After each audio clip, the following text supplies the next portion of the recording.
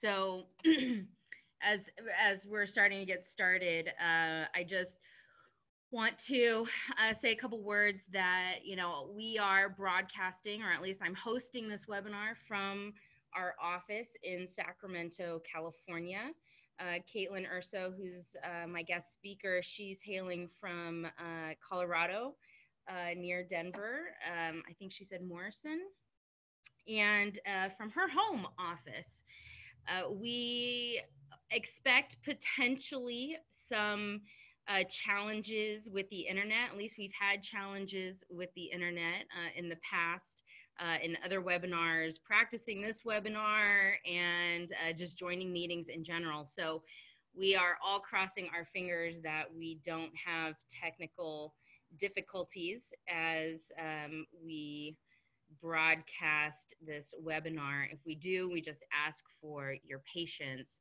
At the end of the webinar, we uh, will attempt to uh, use our video so you can see our faces and and we can talk to you and, and answer your questions. Uh, there's nothing like being face to face and in this time where we're not traveling, uh, obviously that is challenging and we're not doing so much of that. So we would like to um, at least for you guys to see us if we can't see you uh, through the video.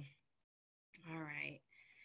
Uh, so I'm just going to send a reminder to the new folks that have joined that we um, to submit all questions um, through the group chat and message everyone. Okay. Okay, so I guess it's about 10.05. There are still people trickling in. So uh, why don't we get started and uh, we'll continue to let people in as uh, they join. Okay, all right, again, so welcome. I am uh, Nadia Sabeh, the president of Dr. Greenhouse, and this is our webinar, Stinky Situation, Controlling Odors in the Cannabis Industry. And I'm joined with special guest, uh, Kaitlin Urso. So for those of you who may not know who I am, uh, you know, again, I'm the president of Dr. Greenhouse. We design HVAC systems for indoor farms and greenhouses. Uh, we don't just serve the cannabis industry, though that is obviously a large portion of our clientele. We also help people grow leafy greens and vertical farms and strawberries and greenhouses, tomatoes, mushrooms, any plant you can think of in any sort of facility or structure that you can imagine. We are trying to support those farmers and growers and developers to grow food and medicine uh, locally uh, and regionally um, in in a very productive manner. So uh, I will let Kaitlin introduce herself. Welcome, Kaitlin. Hi, Nadia. Uh, thank you for having me join you today. Um, I'm Kaitlin Urso. I work for the Colorado Department of Public Health and Environment. So I work for a state level government agency. My job is to be a free environmental consultant to small businesses in Colorado. We define a small business as 100 employees or less. So um, a good portion of the marijuana industry falls underneath that definition. Um, and also, I personally specialize in helping both craft breweries and marijuana businesses reduce their environmental impacts. Um, so I'm excited to be here today and, and share some resources with you all. So what we're going to be talking about today, um, here are our learning objectives. So we're going to talk about why controlling odor is important, um, not just from a nuisance perspective, but also from a public health perspective. We'll talk about how odor control is enforced um, in the varying you know, regulatory landscape depending on where you're at. Um, we're talking about what we're measuring and controlling, you know, what are we actually talking about? Um, we're talking about, you know, those molecules, those VOC molecules, and we'll explain what that means.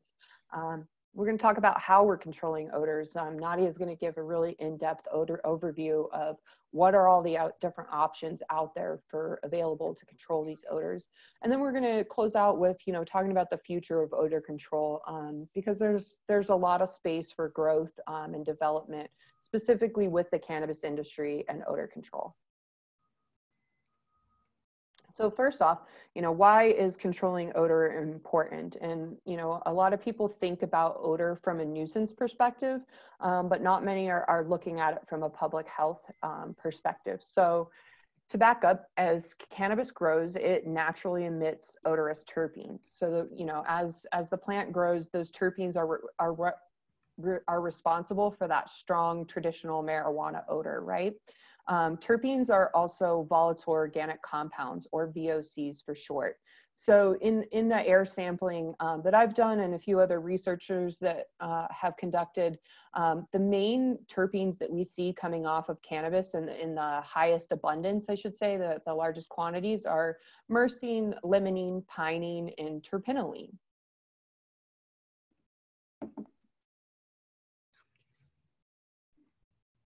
So why, you know, why VOCs are important. So those terpenes are volatile organic compounds. VOCs chemically react with nitrogen oxide or NOx for short in the presence of sunlight to form ground level ozone. So nitrogen oxide comes from combustion sources. You know, think of cars, um, power plants, uh, oil and gas activities. You know, really in an urban setting, we have an abundance of nitrogen oxide sources. And then on the other side of the equation to, to ozone is volatile organic compounds um, from the marijuana industry. Like I said, these come off of terpenes, um, come off the plants as they grow. Those are volatile organic compounds. But we also see VOC emissions from our extraction activities from our solvents, um, propane, butane, ethanol, those compounds. Also, you know, there's many other sources of VOCs outside of the cannabis industry. Think um, paints, solvents, anything that has a really strong egregious odor associated with it um, is most likely a volatile organic compound. So ozone is important because um, breathing it has negative health impacts and it's also harmful to the environment. Health impacts um, can range from stinging eyes and throat to you know cardiovascular harm over time. Um, the environmental impacts, you can see them on plants, as you can see in that picture in the bottom right-hand corner. Plants will actually begin to oxidize when exposed to high levels of ozone or, or the, almost like visual bruising of the plants. So we want to avoid ozone concentrations and contributing to them. So as I mentioned, um, outside of the plants, um, there's also volatile organic compound emissions from extraction. Um, extraction is done um, when, when your businesses are manufacturing anything that's not being sold in the form of flower. So, you know, our edibles, our our concentrates, all the waxes, all of that goes through a chemical extraction process typically. Um, some of it's done um, by heat and pressure or by CO2, but for the large part, especially in the marijuana industry, um, you know, popular solvents are propane, butane, ethanol, um, isopropyl alcohol. And so this is actually a point of state level compliance for existing regulations. Um, you know, states will regulate these facilities and these facilities have to get air quality permits based on their annual VOC emissions. And so how you would figure out what the annual VOC emissions are is you basically just do a mass balance on the solvents. How much did you purchase in one year? Okay, you can subtract out what's currently in your inventory. Um, with some testing, you might be able to subtract out some of your waste pickups. Um, and then you essentially assume everything else um, evaporates and that's how you would calculate your emissions. Even though these facilities use closed loop extraction systems and a lot of them are rated to be you know 98% efficient. You add in operating procedures and human error and um, you'd be surprised at, at, how much voc losses actually occur within these facilities and need to be permitted um, by contrast, it's worth noting that here in Colorado specifically, that the cultivation of cannabis plants, even when it's done indoors, like in a warehouse setting, is considered an agricultural activity, and agricultural activities are exempt from air quality regulations. So um, and that that agricultural exemption can vary depending on um, where you operate. I can really only speak for for Colorado. Other states um, have deemed indoor cannabis not an agricultural activity, and that then that exemption would not stand. So, but for the processing side, this is definitely a point of compliance um, that both businesses and municipalities should be paying attention to.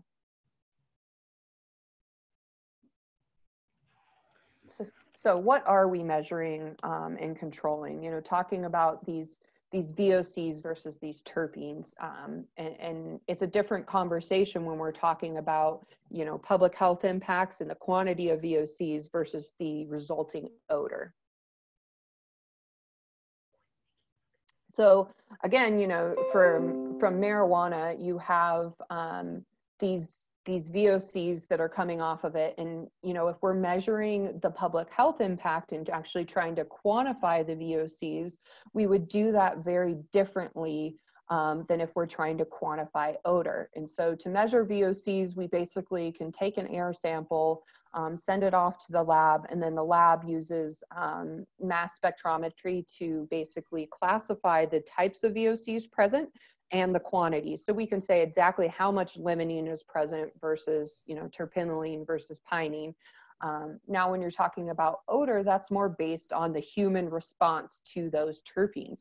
And so to measure odor, um, typically what's used, and you, you guys have probably seen it in the cannabis industry before, is what's called a nasal ranger. And that's what's pictured on this slide to the right. It's basically, it looks like a really fancy device, but it's very simplistic in its nature. It has a carbon filter in there.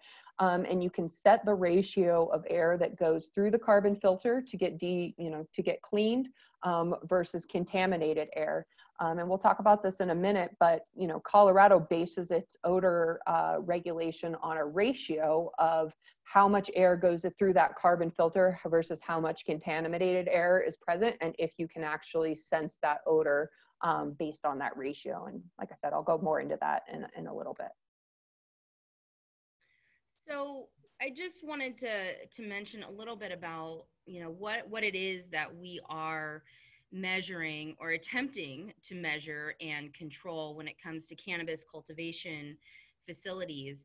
Uh, there have been several studies that have been done to measure the terpenes that we are all familiar with in the cannabis industry. And Kaitlin already mentioned several of them, right? Myrcene, pinene, limonene these are all terpenes that we're familiar with that we kind of know what the smell is right? It smells like pine it smells like lemon it smells like mango right? And uh, and so but there are some other vocs that are present toluene ethanol that kaitlin also mentioned. What's interesting is that as time has gone on and as more of these studies have been done is that more and more terpenes and VOCs have been discovered. So, in general, uh, 23, about 23 to 30, and here I say 31, VOCs have been well documented throughout, you know, basically cannabis cultivation's history practically. Uh, this study by Iowa State in 2015 identified 230 three VOCs given off by cannabis uh, following cultivation during drying and post harvest. So they actually found 200 more VOCs than what we knew about before this study. What was really interesting is that they ran these samples of air. So they did many different studies. So they did the olfactory study, they used mass spec, uh, gas chromatography. And what they discovered is that with mass spectrometry, that there were certain compounds that were not even detectable, but when they did sensitivity analyses, when they did the olfactory test with humans, that they were very smelly. So here we have this new set of compounds that we had never discovered before that are in very low concentrations that mass spec can't even measure, but that we as humans are incredibly sensitive to. And there are 34 of those specific compounds. So, of course, one of the conclusions of this study was that we need to be paying more attention to these highly odorous compounds that are in very low concentrations.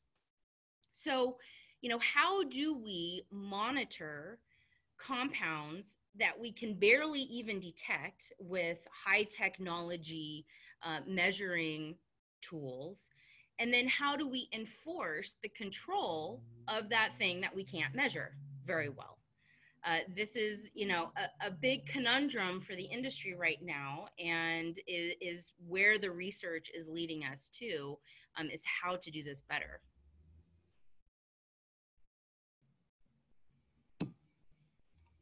All right, so here in Colorado, as I mentioned, we use the nasal ranger, that tool that was, um, you know, pictured on the slide back where the woman was holding it up to her nose um, a- as a way to support our odor regulation. So at the state level, um, Colorado's odor regulation is based on a seven to one odor ratio. And so basically through the nasal ranger, what that would mean is you have seven parts of air getting put through the carbon filter and being essentially cleaned um, to one part of contaminated air coming into your nose at that ratio. Can your nose detect it? Um, if so, then that's considered an odor violation.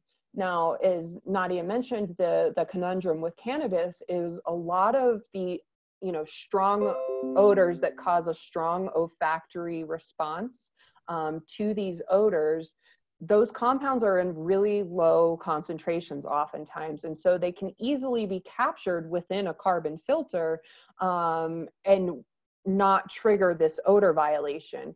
Um, however it you know it was more designed for like confined animal feedings and you know those really strong odorous compounds um, which has led to in Colorado for the marijuana industry there being more more um, odor control enforcement at the local level because oftentimes, it, actually in most cases, our state level odor ordinances um, will not trigger a marijuana violation. And so, you know, for instance, in Denver County, um, where a good portion, I think it's like 60% of our marijuana cultivations are in, in Denver proper, um, with that, they have a stronger odor ordinance within Denver proper that addresses those odors for marijuana specifically. Um, so it's it's it's an interesting situation. And then on that note too, you know, when we're talking about the odor impacts versus the public health impacts with Colorado and the way that we legalized, we mostly legalized indoor cultivation. Um, and most of those indoor cultivations based on many regulatory structures like zoning and, and setbacks and, and um, you know, tr- transportation regulations, all of this led into about 60% of the grows being concentrated in our city center in Denver proper. Um, and when we talk about the impacts of ozone and VOCs reacting with available nitrogen oxide concentrations, which come from combustion and are concentrated in our city center, you know, this, this um, issue of ozone becomes a heightened one for us here in Colorado, just because our grows are are based in the same areas that we have high levels of nitrogen oxide. Um, that public health impact of ozone formation might not be as big of a deal for outdoor rural farms that are away from the city center that are don't have those ambient levels of nitrogen oxide for the VOCs to readily react with to form that ground level ozone. Just something to keep in mind. So something that's a little bit ironic about that is that you know here we have Colorado. It's it's dry. It's a mild climate. It's a high altitude. It's really perfect for growing crops in a greenhouse right so so we have a lot of growers who recognize what the potential value is to to use a greenhouse to grow cannabis and so uh, you know they want to set it up out in you know the middle of the country well, there's a project in Boulder. It has it has been built. It is operational. But before it was, the grower called me up and he said, "Hey Nadia, I just need a gut check. Uh, I, you know, have this 30,000 square foot greenhouse and it cost me about $500,000 for the whole greenhouse, but we want to air condition it. And I'm like, air conditioning? You're in, you know, you're in Boulder, Colorado. It's the perfect weather for just evaporative cooling and just traditional greenhouse technology. And I was like, well, okay, you know, back of the envelope calculation, just looking at solar loads. I'm like, yeah, you know, this is about two and a half million dollars that you need to spend on the air conditioning. And he's like, yeah, that's what they're telling me, like two and a half, three million dollars. And I was like, why do you want to do that? And his response was odor control. That the city of Boulder was so afraid of odors that they were forcing this greenhouse grower to seal his greenhouse And so the only way he could condition it was by air conditioning it. He couldn't use just ventilation and evaporative cooling. So even out in the middle of the country, you still might be subject to some odor control um, rules and regulations that may not be to the best interest of maybe some other uh, goals like saving energy or saving water or doing less harm to the environment and to your neighbors. Um, so just a little food for thought there too. Uh, so just real quickly, uh, in California, they do something a little bit different. So in some jurisdictions, they have this odor wheel. Uh, and depending you know they're they're actually looking at what are the sources of odors how smelly is the odor what is the concentration you know are they getting complaints uh, what are what's the intensity where's it coming from? And they use this wheel it's, it's kind of like their version of the nasal ranger but they're using this wheel instead to try to categorize the odors and try to determine if it's a, intense enough or a public nuisance enough that they will require mitigation um, uh, strategies. You know i talked to uh, i had a project in oakland uh, it was a you know a clone nursery farm and you know clones there's no flowers. They're not processing anything. They're just baby vegetative plants that are just getting roots. Uh, there's nothing emitting odors really in a clone facility. Uh, but they had to at least demonstrate that they were doing something to mitigate odors. And even when i talked to the building inspector about this he said you know he even admitted he's like we know we know that it doesn't smell but if we get a complaint from a neighbor then we want to be able to point to these different facilities to say, you know, they are doing what we ask them to do.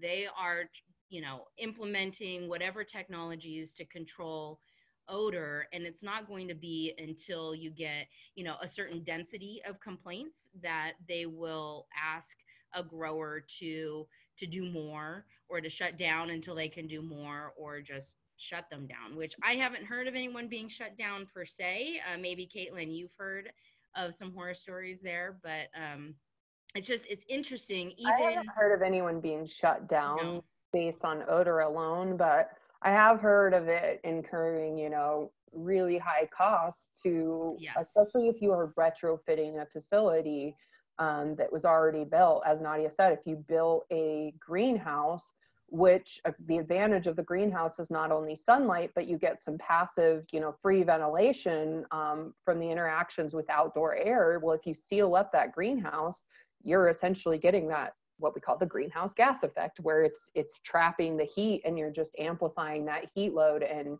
um, if you have to retrofit to meet these regulations backwards, you're kind of working against yourself um, and displacing the environmental impact.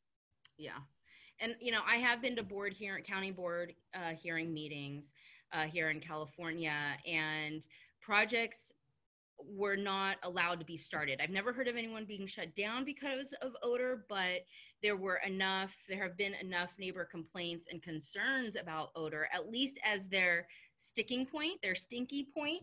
Uh, you know, there's probably a lot of reasons why they don't want cannabis in their backyard per se, but odor I think is one of those points that is so hard to fight against again because it's hard to measure and control that it's it's kind of one of those things that you, you almost can't argue against if someone is concerned about odors.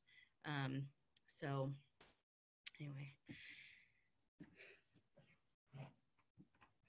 All right. So then looking at, you know, um, Michigan's odor regulation, we just picked out um, California, uh, Colorado, and Michigan's odor regulations. There's, I mean, vast uh, variation across um, all municipalities, but it was just interesting to point these three out because, you know, Michigan, I, I think is interesting because in my view of it, it it's really up to inspector discretion um, with the way that they wrote their odor regulations.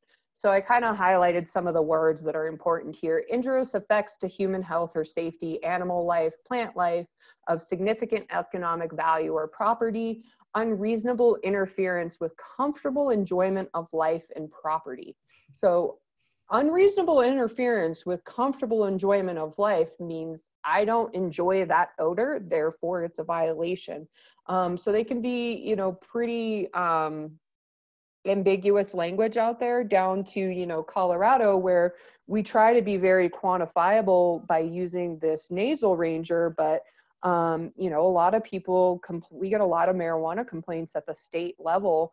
Um, and our response to it is that if it doesn't exceed, you know, what's specified through this nasal ranger, which is based on this um, ratio of, of filtered air to unfiltered air, and then it's not a violation. And, um, you know, that's where, where local odor ordinances have come into play a little bit more here in Colorado as a result. And so I think in Michigan, you're probably going to see similar situations um, because at the state level, it really is, it kind of leaves it at, up to ambiguous language. So some of you might have seen the LinkedIn post that I made, I don't know, maybe a month ago about this small town in Michigan that is literally arming their police officers with the nasal ranger to sniff out uh, cannabis cultivation facilities and, to determine if they are too quote unquote smelly and I guess uh, have an unreasonable interference with the comfortable enjoyment of life and property. Uh, you know, when I uh, was talking to Kaitlin about this, of course, the first question she asked is, well, you know, do you know what ratio of, you know, fresh air to odorous air that they're going to be testing with the nasal ranger? And i couldn't find any information on that whatsoever. But it's a great question to ask because at least we want consistency in terms of how we're measuring. So if we are going to use the same tools and technology it would be great if there was that consistency and, and and and objectiveness as opposed to sort of this ambiguous how i feel how i you know how i smell. And but that's really hard again because i think everyone does have different levels of sensitivity. And so you know figuring out is is there a percentage? Like unreasonable interference do we say that it's 10% of people can't enjoy their life? Is it 90% of people that can't enjoy their life because of the smell of cannabis? At what point do police officers, you know, handcuff or give a citation to a grower because, you know, it meets some ratio of the nasal ranger that, you know, we can't even find a documentation of? Hopefully, they went to the school. What's the name of the school that you can go to to learn how to use the nasal ranger? It's actually called the Odor School, and so here it's, it's, fancy name, yes. But here in Colorado, um, and this is this is universal for um, a lot of you know municipalities that use the nasal ranger. As if you are going to be, um, you know, an inspector that has regulatory teeth, you have to go to odor school. And that basically, you don't learn anything from odor school. It's interesting they call it school, but it's more of a certification where they basically test your nose and determine if it's sensitive enough um, to be a regulatory, you know, mm. olfactory sensor. Um, and really what it is, is it's like, a t- you know, you go into a room and they've got like 10 different tables set up, maybe 20 different glass vials on each table. Um, and you literally go around the, the room and smell every single one. And you just um, say, do you detect a smell or not? Um, and then you leave the room and they shuffle all the vials around all the different tables and you come back and do it again and you do it about five times. Um, and then at the end, you have to meet a certain percent of odor accuracy um, to be a certified odor inspector that can then use this nasal ranger. Um, so you know there is some, and that that is um, that does hold up in court. That is a regulatory process that um, is is enforceable by law, and that's why we have that certification program um, to make sure that you know people's noses are calibrated to some level of fairness to be able to detect um, through the nasal ranger because we realize that you know there there is human error in using this instrument because it's still our nose at the end of the day making the determination um, it's just a little bit more goes into it than maybe the regulatory structure of Michigan that is injurious effects and unreasonable interference. So I have to ask, are you certified? I currently no, because odor school, um, you have to get certified once every six months. Oh my gosh. Um, yes, you do. And normally I am certified, but um, our re up was at the beginning of April, and there is no in person odor school for a little bit. So with COVID. So yes, that is a that is one of the things that has impacted our state and our inspectors is um, all of our state inspectors um, for odor certification are in a, on a six month cycle of April and October. So um, we have a lack of, of certified odor inspectors at the moment. So if you're going to be smelly in Colorado, be smelly now, I guess, or anywhere.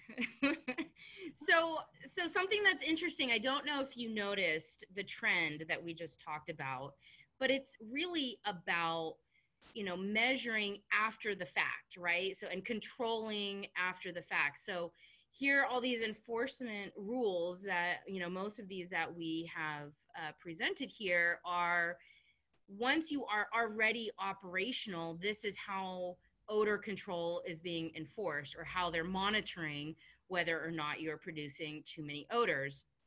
There are uh, states and jurisdictions that do require odor mitigation plans to even obtain your license for cultivation or extraction. So I don't want to leave uh, that out.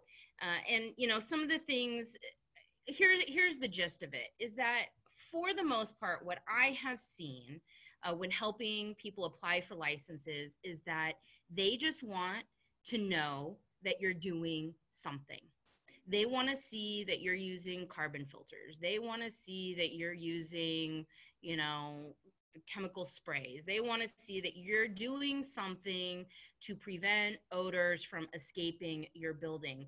That i have not yet seen anyone put a value to whether what you're going to do is a good idea or not or whether it's going to work or not there i have not seen that sort of review or evaluation that says no you need more carbon filter fans or no you need you know to exhaust the air from this area.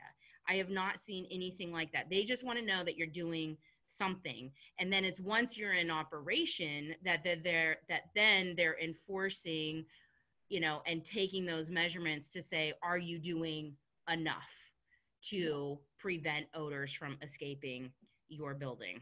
And for instance, here in Colorado, I know that like Denver County, I mentioned they have a more stringent odor ordinance, at, eh, which requires, you know, similar odor control plans to, you know, Michigan's, which their slide is highlighted right now.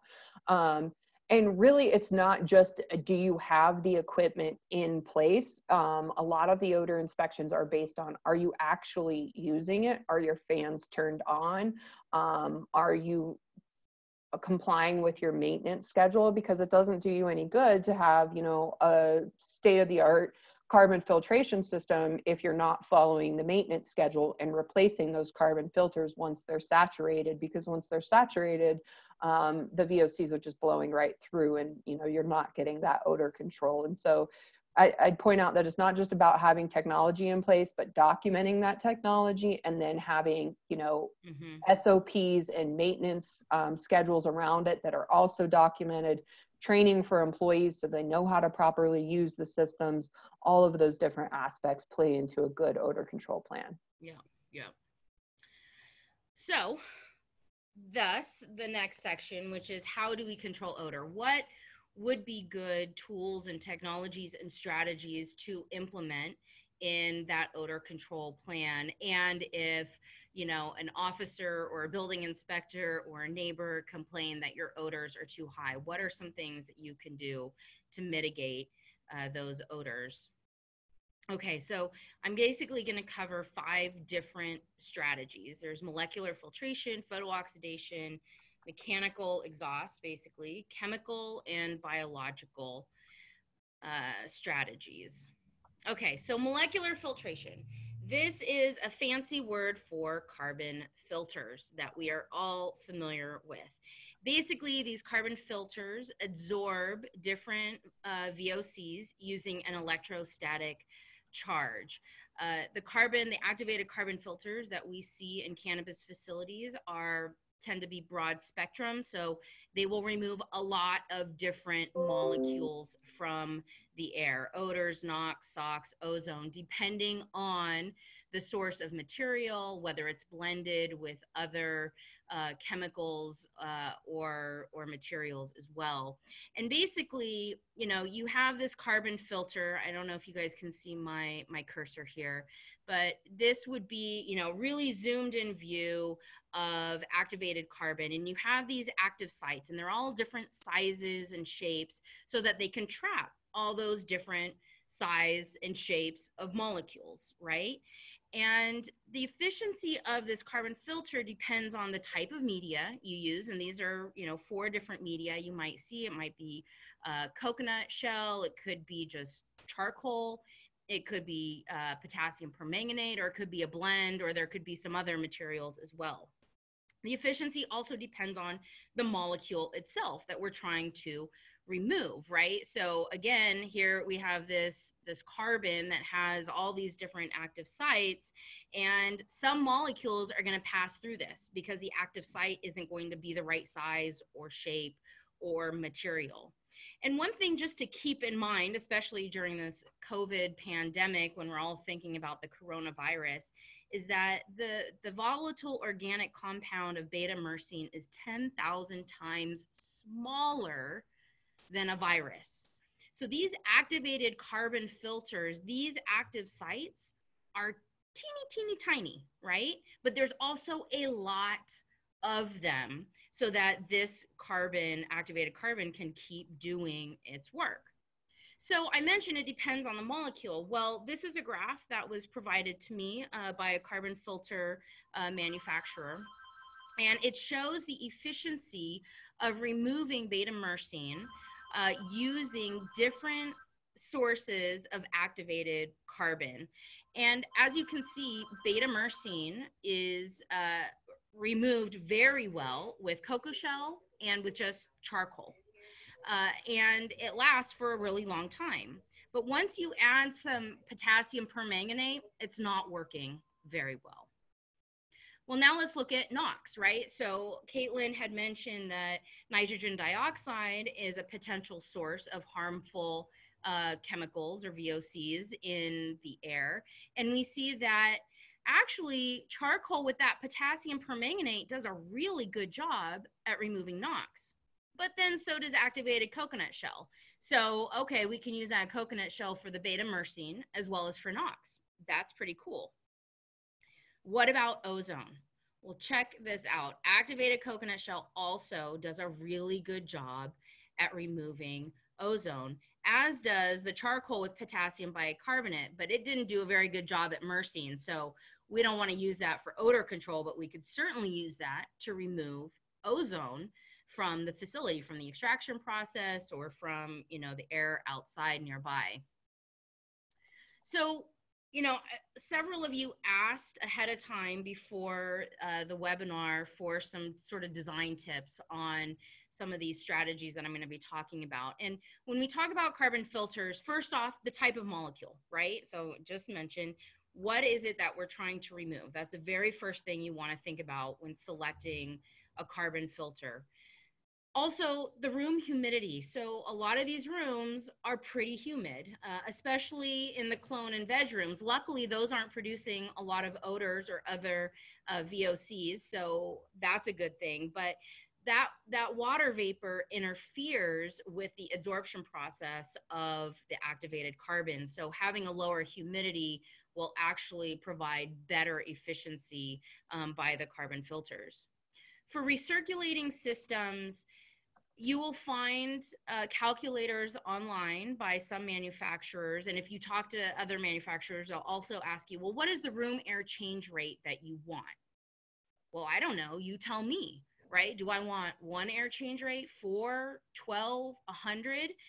Because they're going to decide the size and number of fans, recirculating fans with their carbon filters based on how many air changes you want to move through that system. And here's one of the limitations of what we don't know and where we need more research and study is how many air changes do we need? We can assume that four is better than one, 12 is better than four, but is 100 better than 20? Right? Or have we basically exhausted the efficiency of the carbon filter and the and the ability to remove carbon at some maximum number of air changes? As far as I know, nobody has done this study. Even talking to manufacturers, they will admit that they don't know the answer to that. Um, you know, for exhaust and ducted systems, we also want to think about the air velocity going across this filter. When we have low odor, the velocity across this filter can be 500 feet per minute, which would be typical for any air handler and any filter like a MERV 8 or MERV 13 filter, no problem. But when we're talking about spaces that have high odors, high VOCs, and we're exhausting that air, out of the building, so we're not just recirculating it in the building, it's going to leave. We want to slow that air down. So those molecules have more um, uh, residency time with that activated carbon in the filter. So those are the tips that I can give you for now. One day we'll figure out this air change rate and how many uh, we really need. So let's talk about photo oxidation. So, photooxidation is the use of very low wavelength UV light.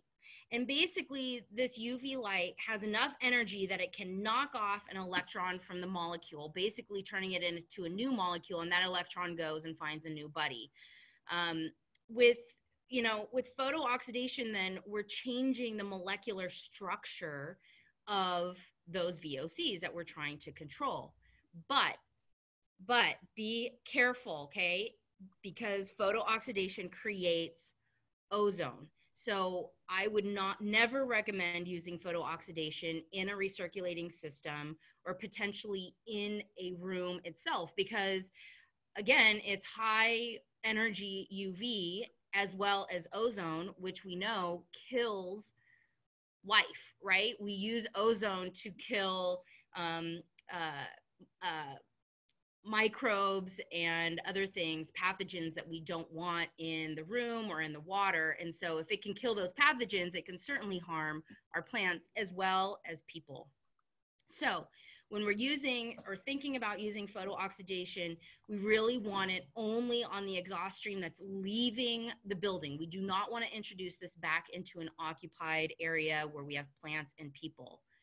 Also, potentially, we can use one of those active, activated carbon post filters after the photooxidation process, right, um, to remove that ozone, just like we saw in that graph.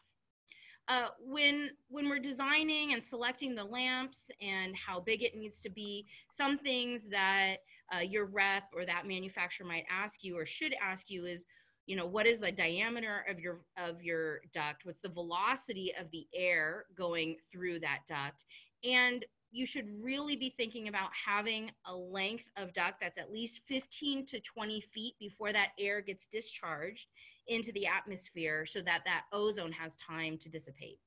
Uh, you also want to make sure that you know the control box is accessible and to replace those bulbs annually Something else that a lot of people don't think about is just using plain old mechanical exhaust to discharge air from inside the building to outside the building. So, if we design this well, we can disperse that air far away from the building, up and away from the building. We can also use certain fans to dilute that quote unquote smelly air from the building with fresh air from the outside these um, high plume laboratory exhaust fans are used all the time and they suck in fresh outside air and then take the dirty laboratory exhaust air to create a diluted stream of air and then blow it way far away from the building and from the occupants below. At 3,000 feet per minute is the velocity that we're discharging that air. You can also use something more simple like these upblast fans that are going to blow air also vertically at a lower velocity, but also just get it up and out of there. So how much exhaust do you need? Well, this is a great question. You know, for those of us mechanical engineers, we would typically like to look at ASHRAE 62.1, uh, table 6.4 for some guidance. I don't see cannabis cultivation facility on this list. I don't see extraction facility on this list. The California Fire Code is now, as of the 2019 code cycle, requiring all cannabis cultivation facilities that are enriching their grow rooms with CO2 to have an exhaust of one CFM per square foot. Uh, if we look at what that is here on uh, ASHRAE's table, you know, that's a janitor's closet, trash room, recycling. There's a few others, dark rooms, science laboratory, um, soiled laundry.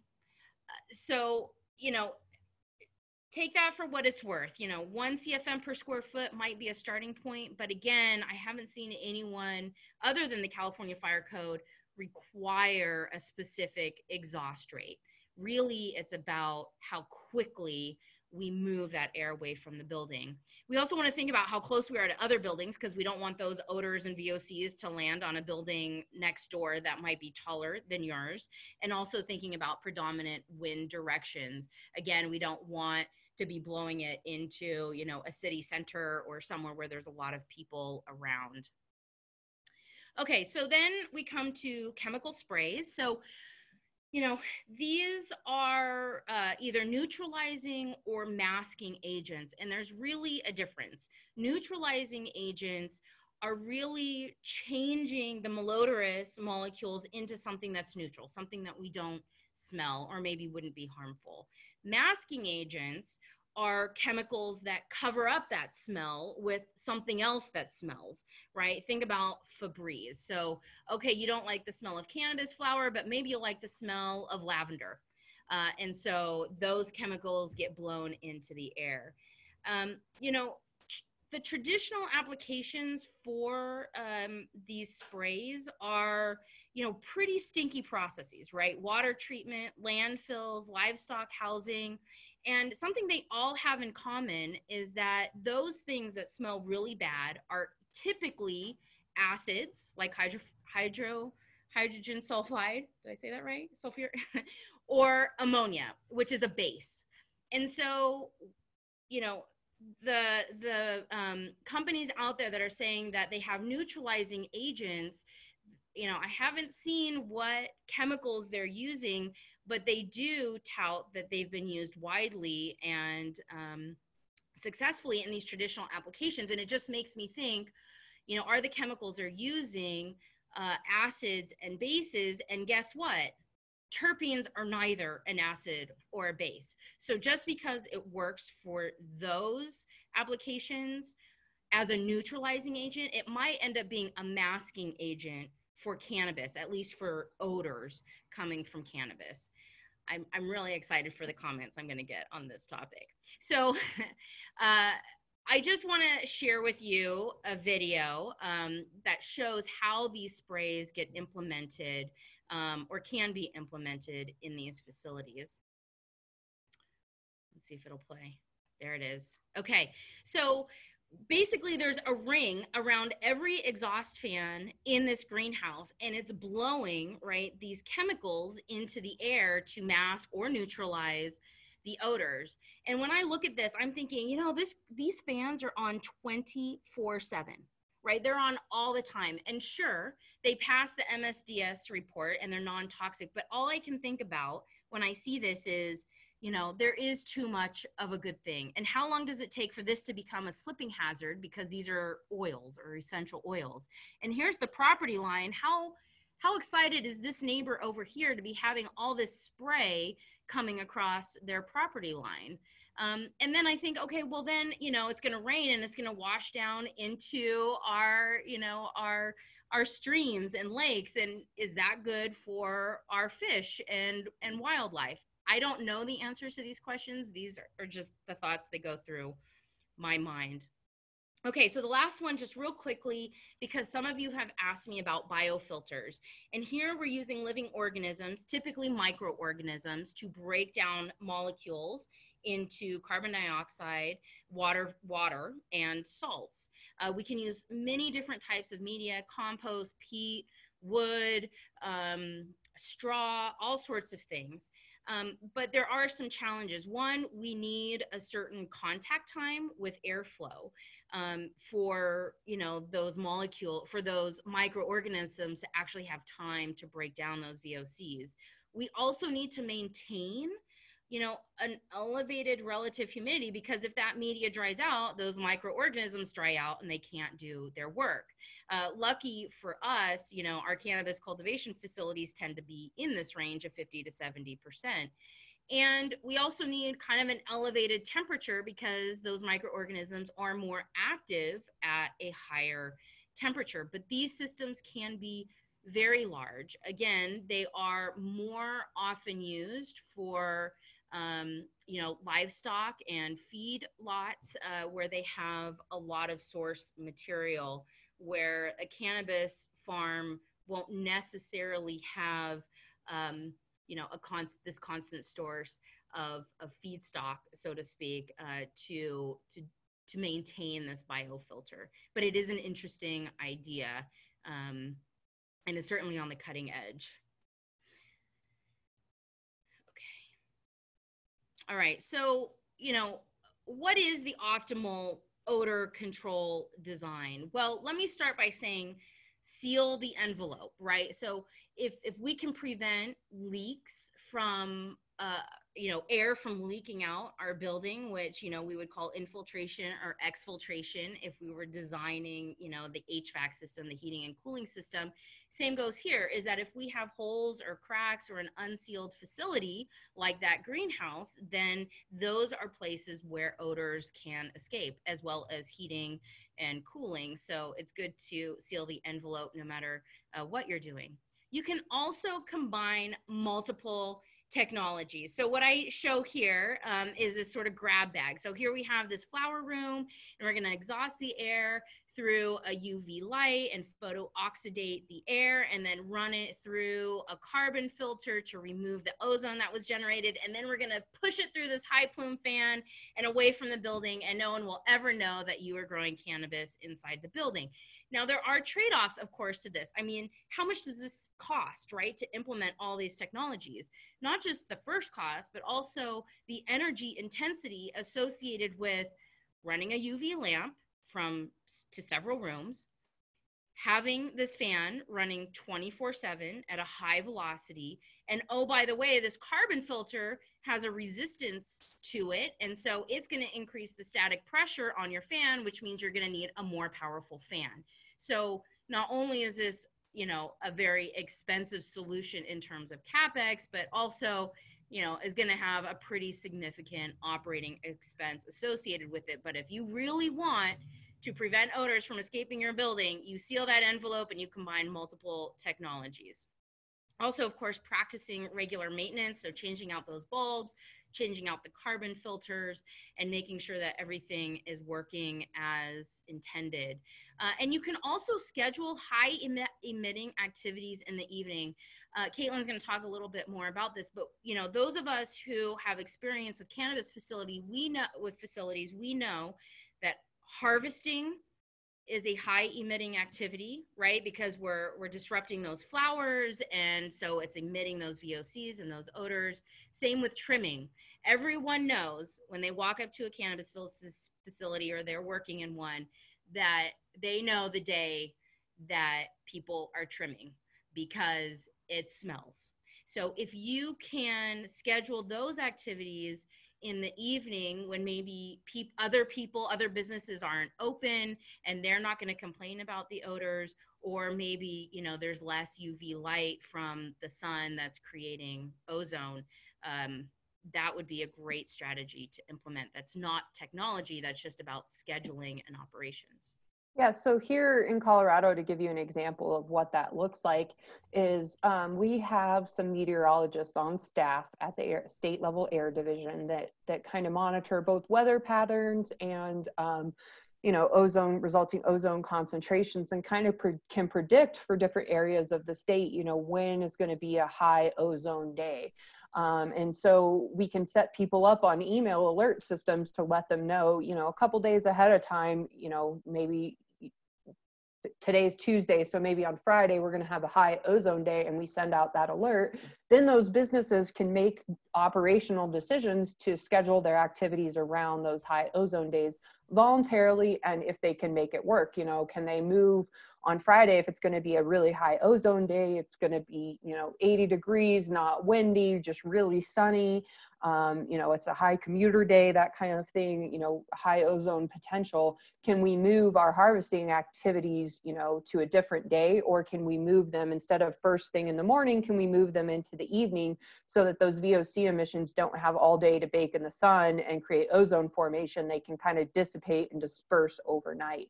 Um, so yeah that's that's one thing to to consider with ozone is it's not only you know scheduling things in the evening but on different days and paying attention to your local you know air quality forecast and, and when are you, when is your business going to have the highest impact um, another best practice that we kind of point out with the seasonality of ozone is ozone season is May through September because it's it's highly dependent on sunlight and the availability of sunlight as well as pollutants. And so um, you know, if you have a filter, a carbon filter maintenance schedule, and say, you know, you're a smaller facility and you only need to replace your filters once a year, can you do it at the beginning of May so that that filter has the highest filter efficiency through those summer months um, where controlling the VOCs has a uh, heightened um, public health impacts because of the potential for ozone formation. And then when maybe filter efficiency drops off in the winter months and you're still controlling your odors, but they're maybe not as efficient, as efficient, um, it's not as big of a deal. That's awesome. Those are really good tips. So talking about the future of, of odor control, um, we definitely need more data and research um, and that's I, am conducting some research myself right now. Um, we certainly need you know new and specialized technologies. Um, we also need kind of an, an evolution of regulatory structure as well and and also understanding best practices and you know when our businesses is having the highest impact and all of that um, and you know can we take this human subjectivity out of the equation? Can we avoid you know regulatory structures like michigan where it's kind of you know more up to inspectors discretion? Or you know on the other side of the spectrum how in colorado yes we have a quantifiable odor control ordinance but it's not stringent enough to address the marijuana industry or a lot of other industries um, for that matter. So just keeping all of that in mind um, so I'm excited to share with you that I am um, the project manager um, for an air quality study that's being conducted by my organization, Colorado Department of Public Health and Environment. Um, we got $31,000 in funding to collect samples um, at cannabis cultivation facilities. We collected them at four commercial cannabis cultivation facilities, um, indoor cultivation facilities, because that's what's common in Colorado. Um, you know, we paid attention to facilities that are in our ozone non-attainment area, which is basically, you know, the um, the most populous area of our state, the Denver metro area and, you know, kind of front range area where we're not meeting ozone standards. And that's um, largely where most of our cannabis cultivations are located as well. So we wanted to look into, you know, what is the cannabis industry's influence on ozone formation? And to answer that question, we had to first answer how many pounds of VOCs are being produced from a pound of marijuana? Um, and, and realizing that that rate of VOC emissions changes um, throughout the different activities within a cultivation facility. So we collected samples um, throughout the cultivation facility in the clone rooms where the plants are just, you know, barely babies. Um, then in the veg room, which is, you know, uh, early, early stage plants that haven't been triggered into flowering um, yet. And then also within the flowering rooms, you know, late stage of the plants right before harvest. Um, we took samples during harvesting and trimming activities as well.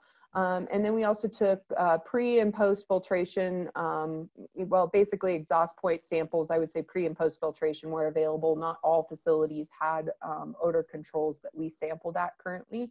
Um, to really get an idea of not only what are what is the marijuana industry's you know overall contri- contribution to ozone formation but how do these different voc profiles vary within a commercial cultivation environment um, which i feel is one great advantage of this study compared to some of the other studies that have been done is this is actually done in a production facility. These plants are growing in an optimal environment. Um, you know they're producing high quality, high um, producing, you know, plants versus, you know, scientists growing the plants on their own. Um, and then also, you know, just the intensity of having, you know, some of the, the rooms we took samples in had, you know, 2000 plants with 40 different um, cannabis strains. So we had a really good variety within them um, as well. And so, you know, no study is going to be perfect because this was four facilities and four, you know, each facility is very unique.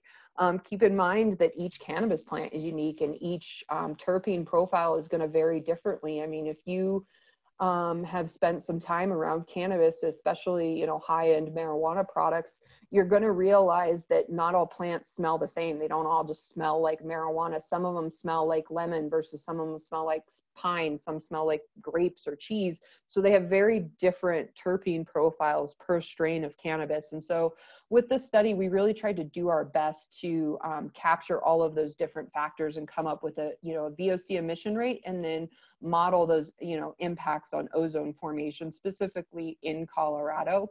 Um, to let you guys know where we're at with the study is, um, you know, we hope to publish results uh, this fall. Um, originally, we were scheduled to publish this summer, but our modeling got pushed back um, with the, the COVID outbreak. And so we've got to wait on, on some of more of our analysis to be done was delayed because of um, the current virus outbreak. But we are on track um, at this point to publish our results this fall. Um, you know, I'm ambitious that it will be October, it could be November, um, but, but keep an eye out for those results. And actually, we're going to be publishing the exhaust results first um, because those are what's going to have an influence on ozone formation and kind of the resulting ozone modeling. And then um, next year is when I will be going back through the data and kind of publishing the internal results for VOC concentrations within, you know, clone versus veg versus flower rooms, all those different um, activities that will be more important to learn uh, for the industry to learn from it, it, was interesting to me when you mentioned about you know anyone who is um, familiar with cannabis or who even purchases high-end cannabis. I mean something that those people look for are those odors right? Like they want it to smell like pine. They want it to smell like lemon. Yeah that's what creates a craft cannabis product yeah exactly. and so you know something that might be foul smelling to one person is exactly what uh, someone else is looking for. Um, and so. also too, that that translates over to the extraction processes as well. You know, when I was new to the the cannabis industry and I was kind of naive to operations and, and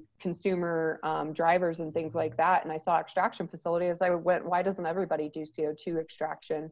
Um, and I had somebody who was a little bit more marijuana savvy explain to me that CO2 extraction is what would be, you know, in the alcohol industry compared to um, Everclear. You know, it's it's all the all, all the punch.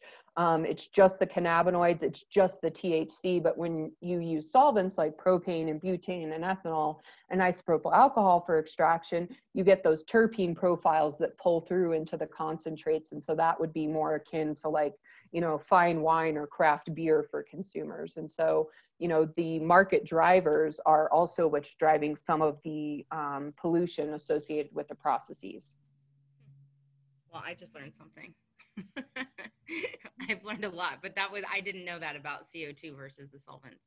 Yes. Um, um, that's why CO2 extraction is more popular for hemp plants because in hemp extraction, you're only interested in extracting those CBD cannabinoids. Um, I don't believe that that the the hemp consumer market has moved into terpene profiles or you know whole plants. Um, you know they're really just focused on how many molecules of CBD cannabinoids can I get out of it and that that's why um, CO2 can be highly efficient at that if you're not looking for that whole plant um, effect.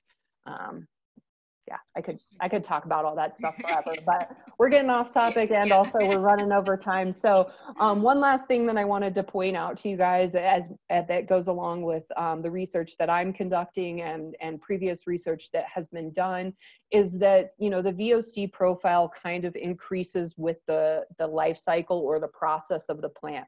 So very low VOCs and clone in the veg rooms. Um, you know, I, I'd say not not really a concern flower room, you start to see the VOC profile increase. Um, you definitely notice it more in, you know, in your nose and, and closer to harvest, those VOC emissions are going to increase closer to harvest as those flowers mature, just like with any other flower, you know, the the flower doesn't really start to have that floral smell until it has a bloom on it and that that smell develops with the bloom um, then it, those VOC emissions definitely increase in the drying and curing process, right? As the plants are being dried out, more of those terpenes are escaping, um, you know, with the, the humidity of the plant. And so you're going to see VOCs coming off of that. And then, um, you know, the highest VOC activities are going to be the processing. So when you're actually cutting those plants up, sending them through um, the trimming machines, um, you know, it's it's cute that we see a, a hand trimmer on this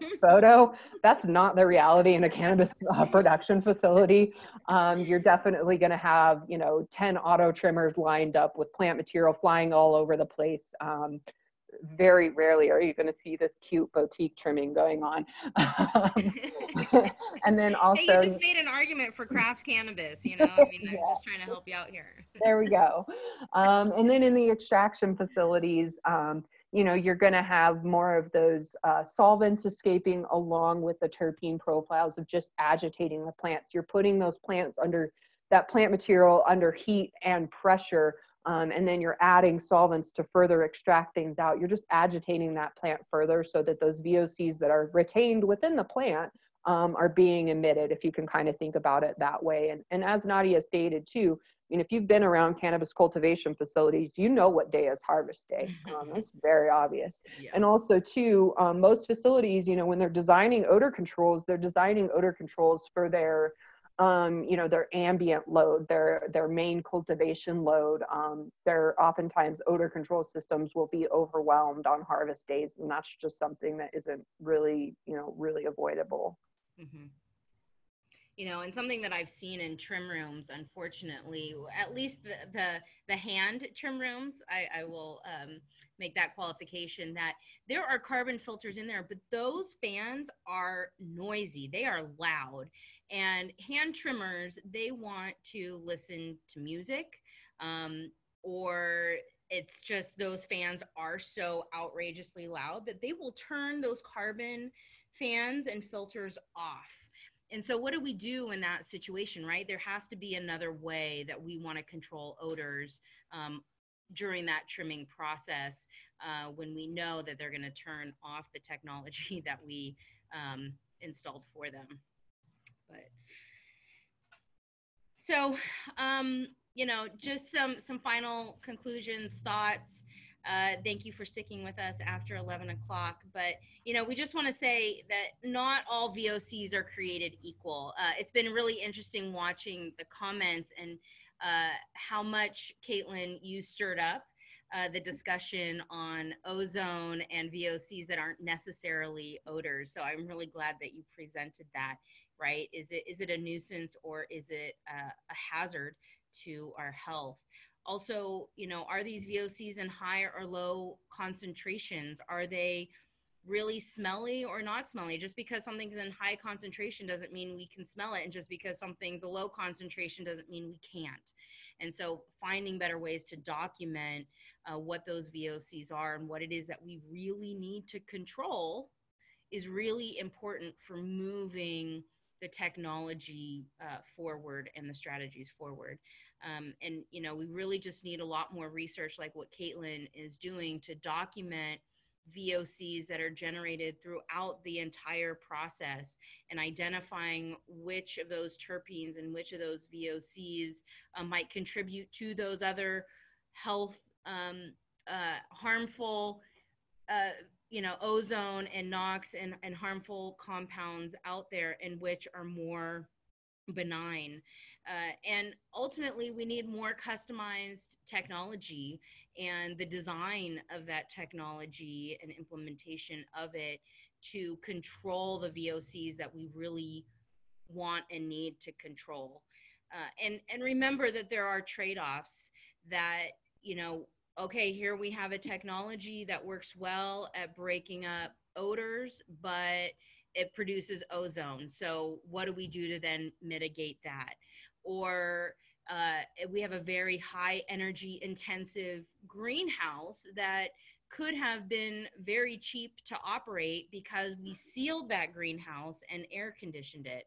Um, and, and all the other strategies that were discussed today that you know there might be an environmental or energy or water impact um, based on the strategy or technology that you implement. So we want to be thinking about all of that yeah, mm-hmm. and I just want to chime in too, and um, you know, based on some of the chat that's been going on um, throughout the presentation, I, I kind of wanted to highlight one thing, and that you know, why are we picking on cannabis versus indoor tomatoes or orchid farms or you know, there's there's lots of other indoor cultivation that's happening out there, and you know, why are cannabis odors kind of being picked on? And you know, yes, they are traditionally maybe more egregious that's open to opinion than than others. Um, but one thing to point out that is the the large differentiator, I think, in my mind, is profit margin.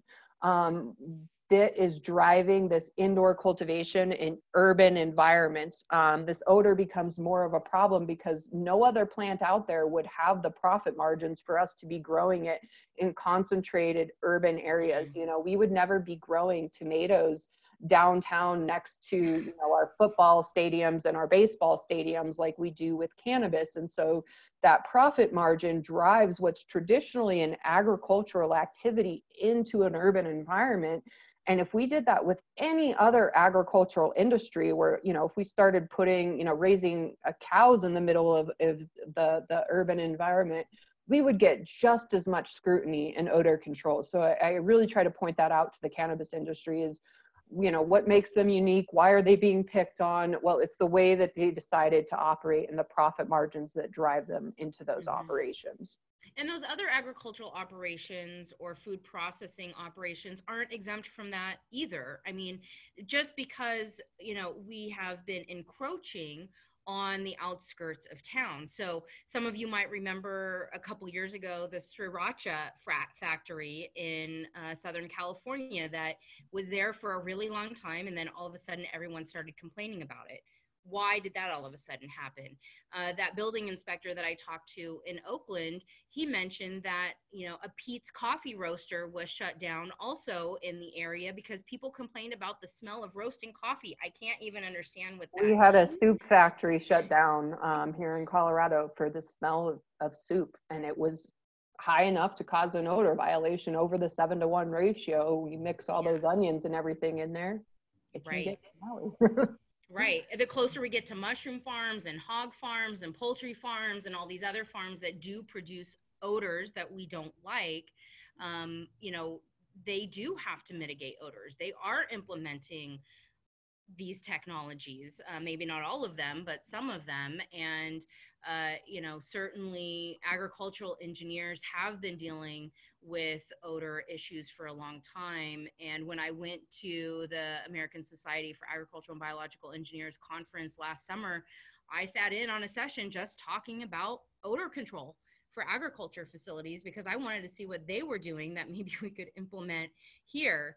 Um, and I'll tell you, they're asking all the same questions. Nobody has this figured out. So, um, you know, there is a lot of opportunity to uh, to develop technologies and do research in this field that could apply to many other applications. Absolutely. So I would say the take homes are, you know, more data, increased specific technology specific to the needs of the cannabis industry and the terpene profiles that they create. And then also, you know, when you're looking at odor control systems, realize what your priority is. Is your focus really just odor or are VOCs coming into play? Where are you located? Are you in an urban environment that ozone is a great concern? if that's the case, you probably should not put masking agents spraying outside of your facility that are another source of VOCs as your practice. You know, maybe you opt for carbon filtration, which controls both the odor and the VOCs. Yep. So uh, that concludes uh, our webinar. We're going to stick around for, you know, maybe another 10 minutes or as long as people have questions. If you want to ask some questions live right now, um, you know, we'll, we'll be here. I'm going to try the video there just for me and Kaitlin. So um, no guarantees that we will be able to keep the connection, um, but let's let's go for it. Why not? All right, work with us, Zoom. You can do it. Okay. I think you can see me. Um, but yeah, open it up to questions. I think most of the questions that came through chat, I was able to um, kind of respond to and, and live manage. But if anyone wants clarity on those questions that we respond to um, via chat or would like Nadia to weigh in on them, feel free to ask them again. Um, Nadia, can you unmute the group so they can? Yeah, sure. Maybe. Good luck. All right, you guys should be able to unmute yourselves if anyone wants to ask a question. If you are not asking a question, it might be helpful if you could mute yourself so that we don't hear a lot of background.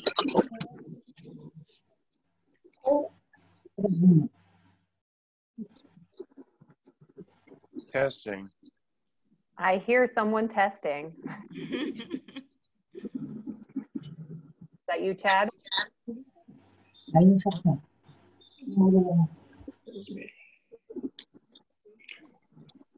So Nadia, this is Roger Kern. Hello. Great, great uh, information here. I have a question. Has anybody really trying? I know Iowa was really trying to figure out what those compounds are that are so smelly.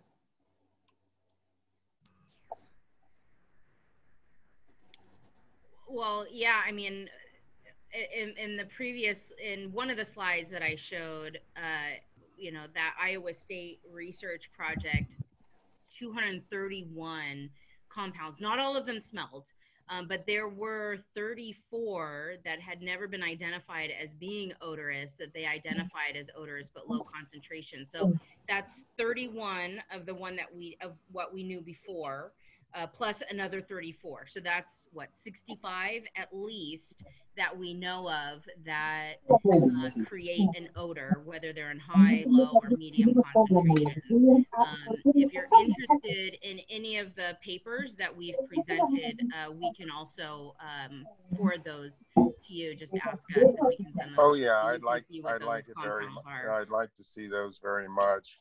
Uh, just trying to think the peaks you're you're just not seeing on the mass spec that are causing the other. Is that true? Yeah, that is very true. So one thing to point out too for um, the just for the Colorado study that I'm conducting when we're looking at you know VOC terpene profiles, because the focus is our, of our study is focused on what are the impacts to ozone. We mm-hmm. were really, we focused on so, a select group of terpenes that we know are both highly reactive for ozone formation and are associated with cannabis. So versus this Iowa study where they have, you know, they're looking at, you know, 230 compounds. We really just focused on what are the, you know, the high concentrations associated with cannabis and the influence ozone. So the odor question is, is is yet to be you know more research is needed on that for sure okay thank roger thank if you. you. if you look at this graph uh, you know above the x-axis is mm-hmm. the, you know what they were able to measure with mass spec and below uh, the x-axis is what people smelled and this is that c category where oh. was nothing detectable by mass spec but people smelled it really strongly. Look, as strong as these already known odorous compounds, which look are in really high concentrations. We know they're there. We can smell them. We can measure them. But there's this whole subset where we can smell them, but we can't measure them. Um, Saint, there's a company called Saint Croix Sensory. um, that is looking into researching like the cannabis odor a lot more and quantifying, you know, what are those, you know, non-reactive terpenes? Maybe they aren't even terpenes. Maybe they're more sulfur-based compounds. You know, what are Yeah. the compounds that contribute to the odor? Um, yeah, St. Croix Sensory is, is looking for that. Yeah, I'll check that out. Thank you very much. Thanks, Roger.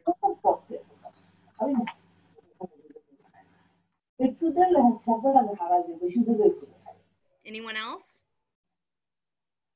I have a question for you. Go ahead. Yeah, shoot.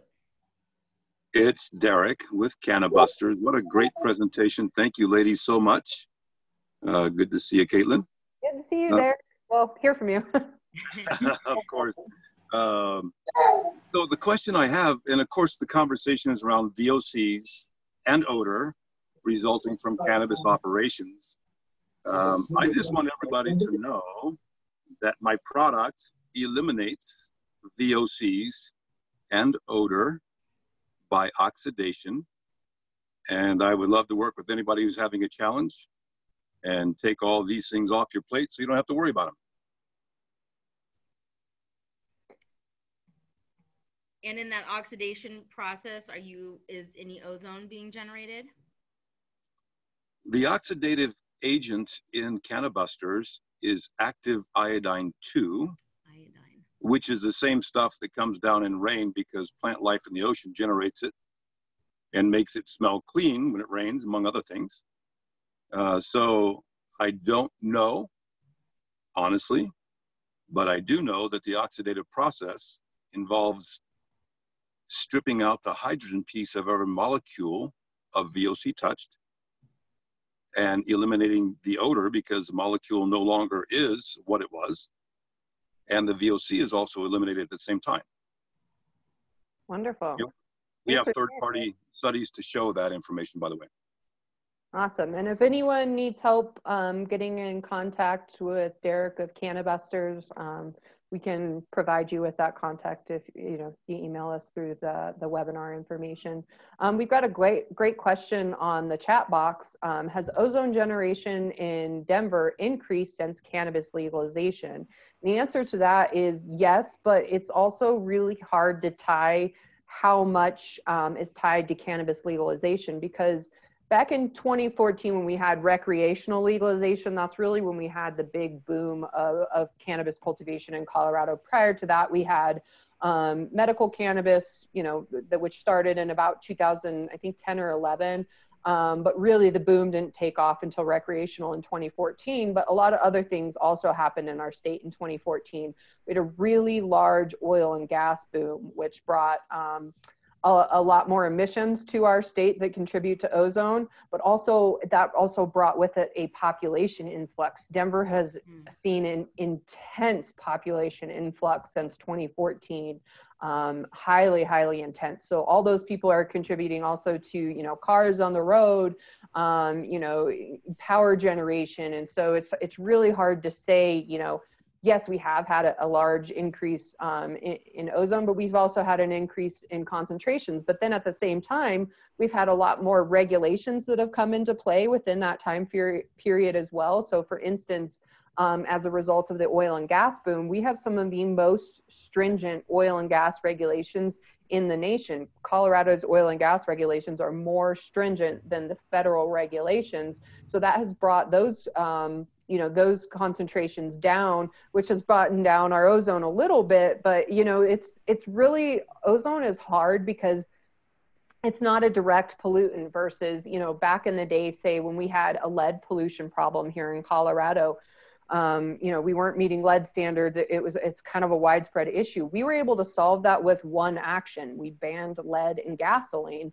That was the major source of lead in all of colorado. And so by taking that one regulatory step, we solved the problem.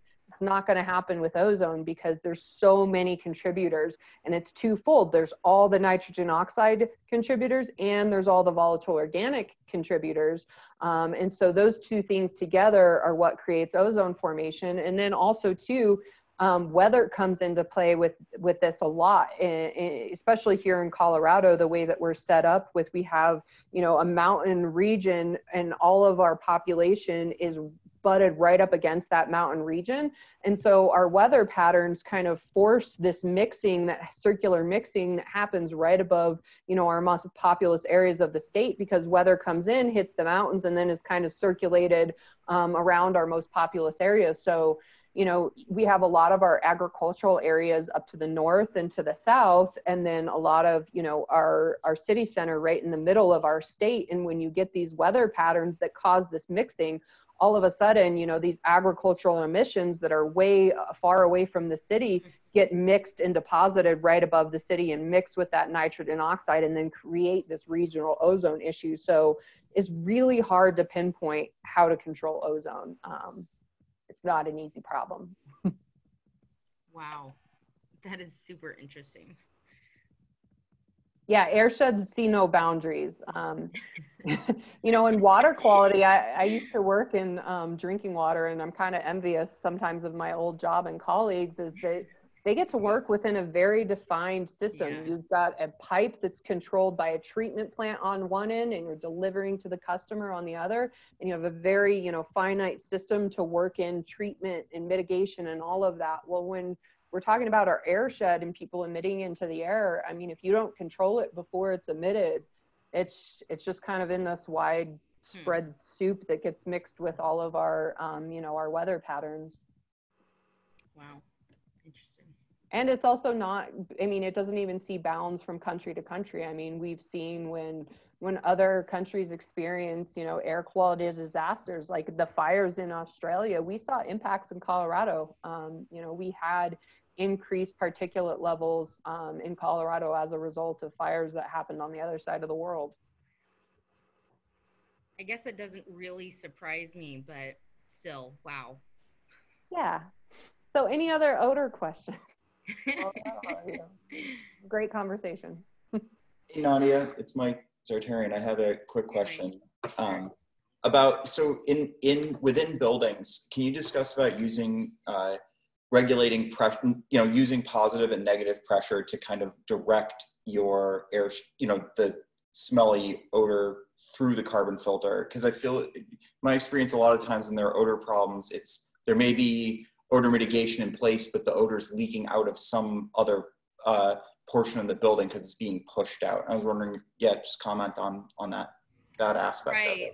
Um, so, you know, I, I had mentioned that the California Fire Code was requiring now these facilities to be negatively pressurized, which, in my opinion, uh, we should be positively pressurizing, especially the cultivation rooms and areas because we want to treat it like a clean room. We don't want to be sucking in dirty air from corridors and from other places within the building. But regardless, you know, of whether we're creating positive or negative pressure in say the cultivation room, we still have the opportunity to direct that air where we want it to go through the exhaust duct or exhaust fan um, it, unless you are recirculating air, which you know I usually would not recommend um, in high volumes. But you know, air is tricky because it is hard to get air to go to where you want it to go.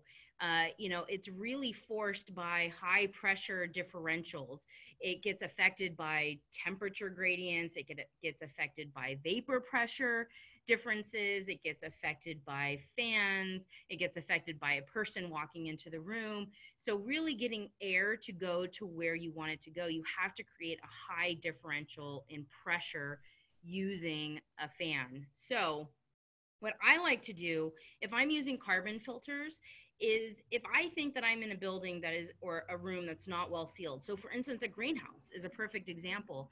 I actually like to put recirculating carbon filters near any entrances, near any of the exterior uh, envelope surfaces where I think odor is most likely to escape. So if you are in an indoor facility and that door opens and closes, you have a door that opens and closes into a corridor uh, that might not have odor control, put a carbon filter uh, right over that door or right next to that door or have an exhaust fan that's right next to that door so that you can direct the air in the direction that you want it to go and then run it through say you know that that uv and then that carbon filter and then out uh, the building with an exhaust fan. So being sort of strategic thinking where could air possibly escape this room or this building and putting fans there or putting you know carbon filters or some other mitigating uh, technologies in that area? Um, and you know being able to positively pressurize a space is actually a little bit easier to control the directionality of that air as well. So, you know, you could almost double up on the fans or have a fan that's blowing air, say, from the, the production room into that corridor. So you create that positive pressure and move the air away from an exterior wall and more in towards the center of that building. And then you have an exhaust fan, for instance, in that corridor that then has, say, an inline carbon filter or maybe you have carbon filters lining that corridor. Again it's so hard because we don't have good data on how many carbon filters we need for a given volume of air. And on i mean someone just has to figure this out. This cannot be that hard. Well and it's um, going to highly depend on yeah. like the as you showed the chemical makeup of the carbon filter that you're right. dealing with. Um, right and also these specific emissions that you're trying to control. I mean, it's going to be different. Um, the carbon filters designed for cannabis, you know, may be different than what's used at Absolutely. You know, a hog farm. Absolutely. Thank you. Yeah, I, I asked because it just seems to be the, the amount of smell that comes out of a facility doesn't always seem to be correlated to the odor mitigation that's been in place mm. and a lot of times that's just because it's you know the, the harvest team has pulled a thousand plants and is de-leafing them in a hallway that has no odor mitigation because exactly. we spent all the time yeah yep. odor yeah. mitigate very good point very good point um, and sometimes you know that's that's something to point out is that sometimes these cannabis businesses um, you know, when they work with the odor, con- you know, whoever's going to be their odor control consultants, they need to be really transparent about their operational procedures. I mean, as a as an engineer coming in, they may look at the process and without, you know, people being there to say this is how we operate our business. Um, and this is how we function. They wouldn't necessarily think to put, you know, um, carbon filters down the hallway, which would they probably think that's just a walkway but you know well from uh, noon to three o'clock every day it becomes our trim room um, yeah. which is common.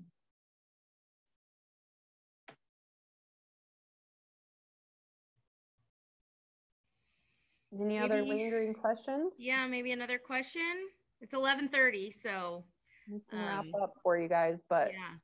We're happy grateful to for you to stick around with us for so long today and hey, we kept the internet connection, or at least I did, and yeah. you did. I think we lost some people along the way who kept uh, needed to to be readmitted, but um, yeah, not not too many technical difficulties today. I'm grateful for that. All right. Hey, ladies. Yes. Hi, this Bruce. is Bruce Strawn in Denver. Hi. Am I echoing? No. okay.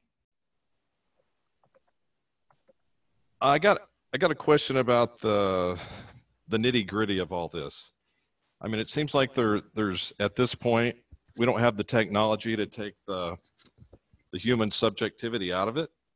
Um, I'm actually have a uh, unless a, we're talking uh, about with town in Massachusetts is actually trying to write their odor law.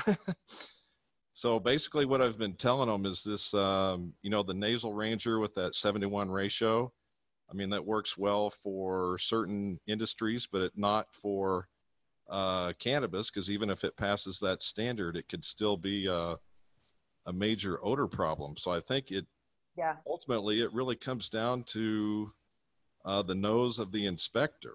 I mean, right? I mean, if they um, are investigating an odor complaint, they're they're going to look and see if you know if everything in the odor control plan is being followed. Um, but ultimately, if if there's really a a violation or not, I mean, it really ultimately it's going to come down to the to the nose of the inspectors. Is that right? the nose of the inspectors and also the regulatory structure that put up. So like here in Colorado, it's actually, you know, it, we tried to take as much human error out of it as possible with the every six months certification programs that your your nose has to be you know calibrated to a certain sensitivity in order for you to be able to be an inspector um, certified to use the nasal ranger.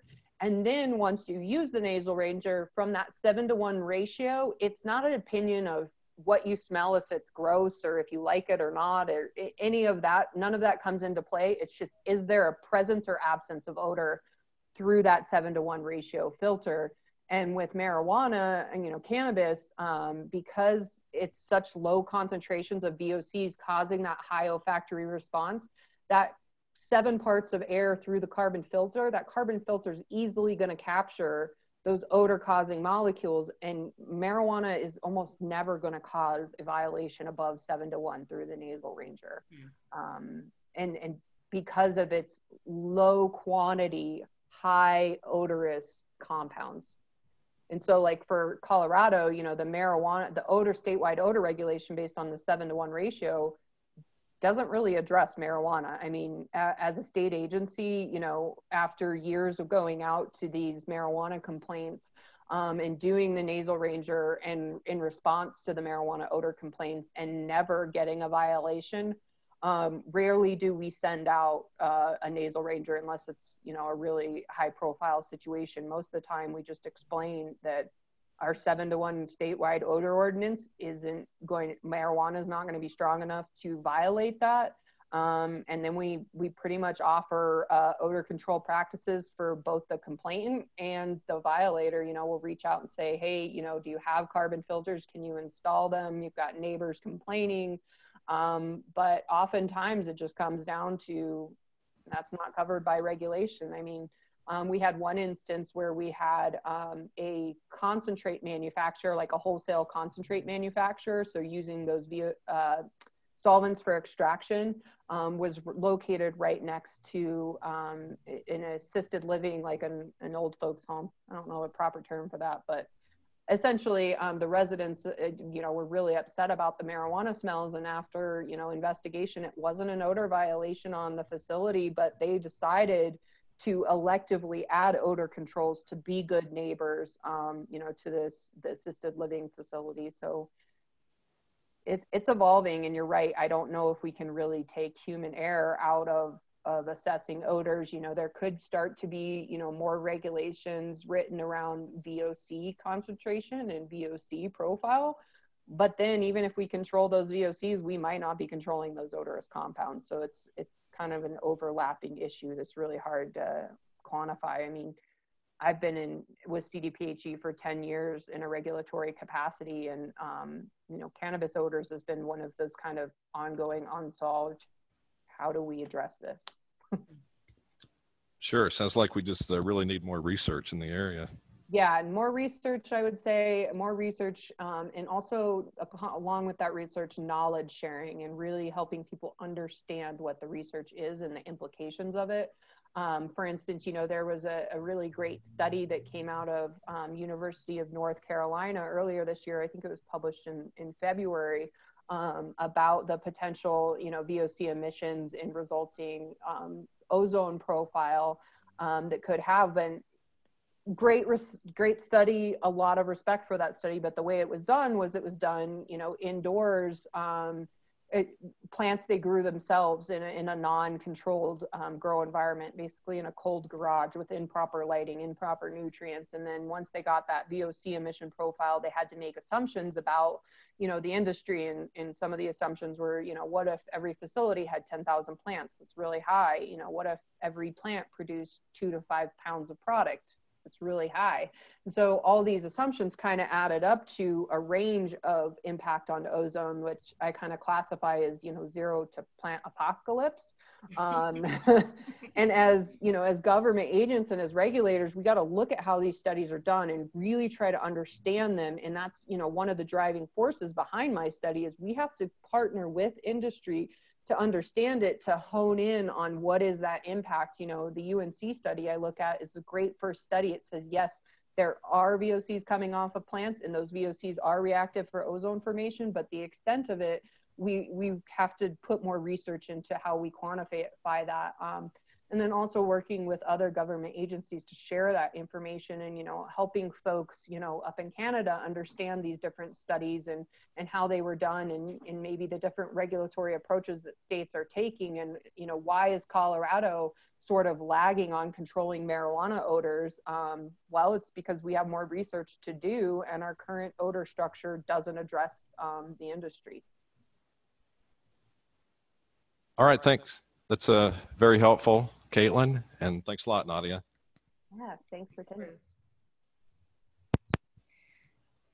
All right, I think we should probably uh, wrap it up unless anyone has a super burning question. You guys have our contact information. Please um, follow up with an email or a phone call uh, if you have any additional questions or thoughts or um, uh, have questions about uh, some of the resources uh, that we talked about today. Kaitlin, thank you so much for being our special guest today. I learned a lot from you, and I think a bunch of people did too. So thank you for uh, hosting and making you know it, it available to everyone. Pretty powerful that we can have um, such an in-depth conversation that could have wide sweeping impacts. You know, from the comfort of my living room. I know, right? All right. Well, thanks everyone for joining us, and uh, we will follow up with you with uh, the with the webinar with the slides, and um, yeah, please please stay in touch. All right. Have have a great Tuesday. Thank you so much, ladies.